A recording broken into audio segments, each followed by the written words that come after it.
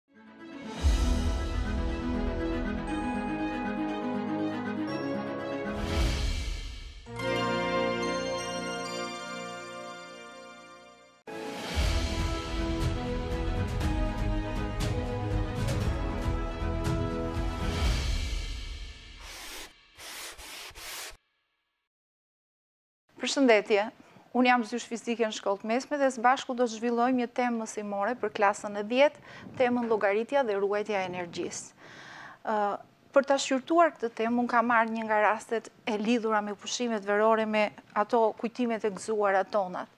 Kam paraqitur në figurë një fëmijë që është duke rëshqitur nëpër një rëshqitëse me ujë, ndoshta në një aqua park. Kënaqësia e fëmijëve është kur ata godasin sipërfaqen e ujit me shpejtësi duke rëshqitur zhvendosur një sasi uji. Pyetja që lind është pse trupi në gjendjen dy është i aftë që të kryejë punë. Që t'i japim përgjigje pyetjes që shtruam, duhet të kujtojmë pak konceptin e punës.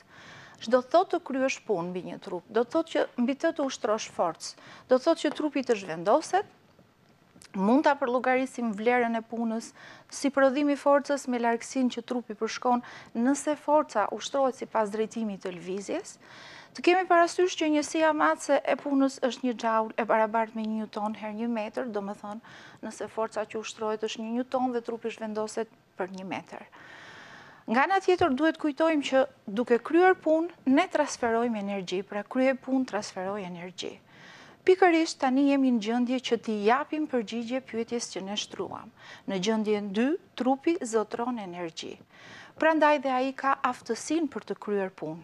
Zotëroj energji, do të thotë kam aftësi për të kryer punë. Por çfarë energjie zotëron trupi në gjendjen dy? Në gjendjen dy, trupi zotëron energji kinetike ose energjinë e lëvizjes. Energjia kinetike është gjysma e prodhimit të masës me katrorin e shpejtësisë.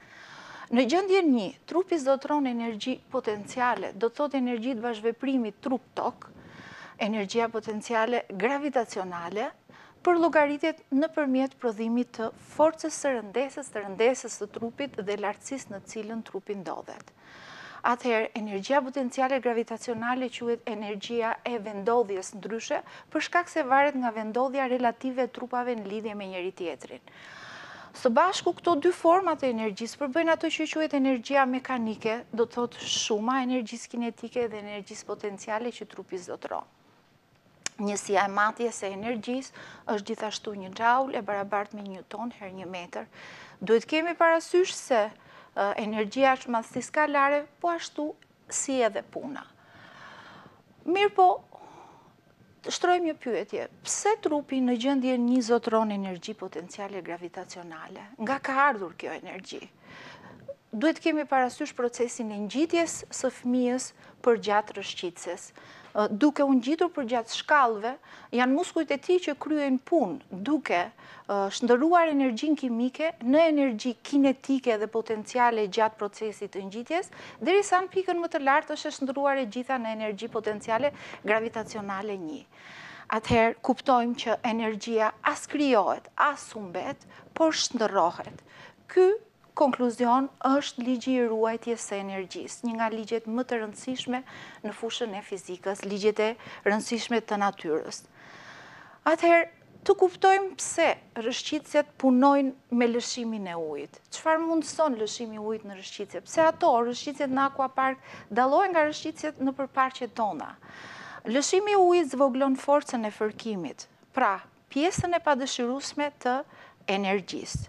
Në qoftë se fërkimi mungon, themi që sistemi trup-tokë quhet i mbyllur dhe energjia ruhet.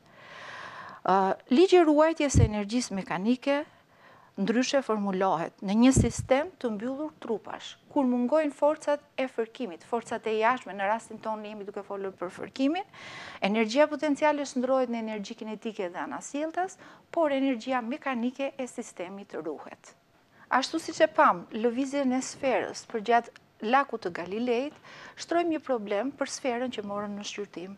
Në qoftë se sfera A e ka masën njëzet gram dhe ndodhet në lartësi njëzet centimetër, ajo zbret në Lakun e Galileit dhe në pikën më të ulët godet sferën B. Pas goditjes të dyja sferat ndalojnë. Detyrë për ju është të llogaritni energjinë potenciale të sferës A në pikën më të lartë të lakut. E dyta, të gjeni shpejtësinë e sferës A në gjendjen dy, do të thotë në pikën më të ulët të lakut, përpara goditjes në qoftë se fërkimi mungon, dhe e treta të vizatoni diagramin e shndërrimeve energjetike. Për ta zgjidhur problemin ju i dini të gjitha hapat që duhet të ndjekim për zgjidhjen e problemit. Mirëpo, Në këtë rast, për shkak se kemi të bëjmë me nivelet e lartësisë, do thotë që trupi ndodhet në një lartësi, pastaj zbret në një nivel tjetër lartësie, e mira është që fillimisht ne të vizatojmë figurën, ku në figurë të tregojmë gjendjet nëpër të cilat trupi kalon. Siç e shikoni nga figura, unë kam treguar sferën A në tre gjendje të saj, në gjendjen një, në gjendjen dy në fundin e lakut, siç e shikoni, dhe në një gjendje të ndërmjetme. Nga figura duket që në pozicionin 2, sfera do të zotërojë shpejtësinë V2 përpara se ajo të godasë sferën B të cilën e kam vizatuar me të kuqe. Meqënëse ne e theksuam që lartësia e sferës në gjendjen një është 20 cm kundrejt pikës më të ulët të lakut, do të thotë që nivelin e matjes së lartësisë e kemi në gjendjen dy për sferën.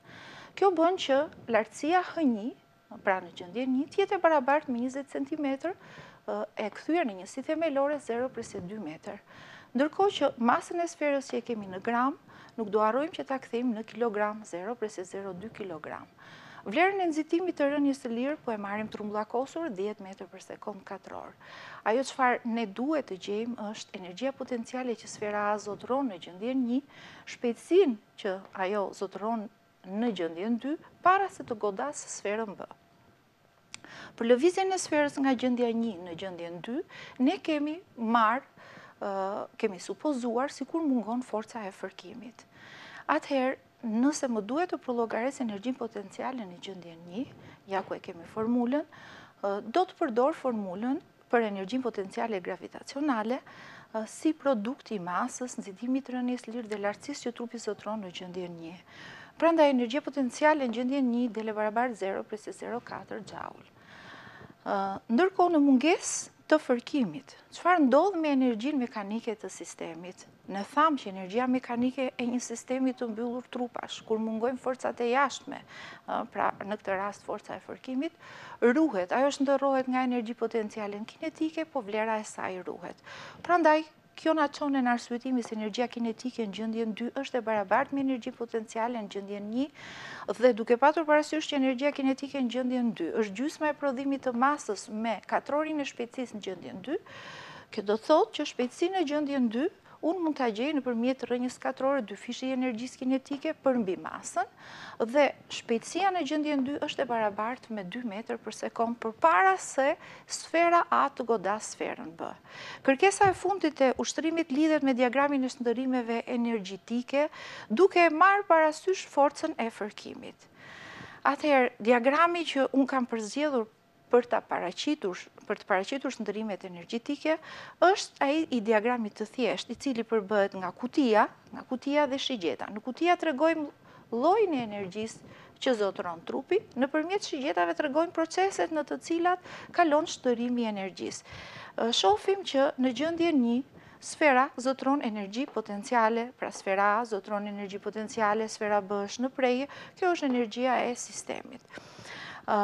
Nëpërmjet procesit të rrëshqitjes, ne shikojmë që energjia potenciale shndërrohet gradualisht në energji kinetike dhe tërësisht në energji kinetike në gjendjen dy të sferës A, në mungesë të fërkimit, po meqenëse ne kemi marrë në konsideratë fërkimin, do thotë që një pjesë e energjisë është shndërruar në një mënyrë të padëshirueshme në energji termike gjatë këtij procesi.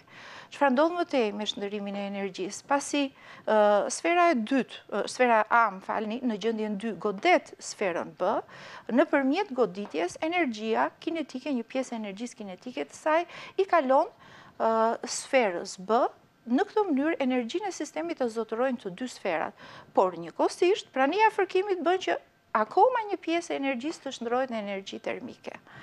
Pasi të dyja sferat kanë fituar energji kinetike, thamë që ato lëviznin ashtu siç e pamë nëpërmjet demonstrimit pak majtas dhe djathas, kjo bën që energjia kinetike që ato kanë të shndërrohet tërësisht në energji termike. Pra, gjatë gjithë këtij diagrami të shndërrimeve energjetike, ne kuptojmë që energjia as krijohet, as humbet, energjia ruhet. Ajo shndërrohet nga një formë në një tjetër, por ajo ruhet. Pra, ne provuam në rastin e goditjes së këtyre dy sferave, ose përshkruam zbatimin e ligjit të ruajtjes së energjisë për goditjen e dy sferave.